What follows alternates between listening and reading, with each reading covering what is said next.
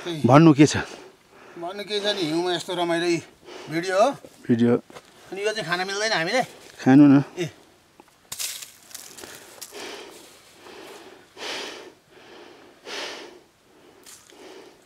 बुढ्रै नि हो। कति बेला मिलाइहाल्छ यो? लु लु अब अब एक किलोमिटर होला। ल लु। जाउँ लु जाउँ बिस्तारै बिस्तारै जाउँ। मलाई अलिक गाह्रो हो। साथीहरू सबै माथि पुगिसके।